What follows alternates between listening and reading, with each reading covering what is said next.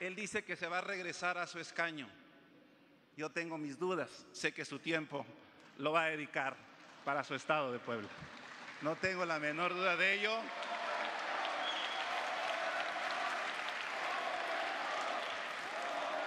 Y desearle, desearle mucho éxito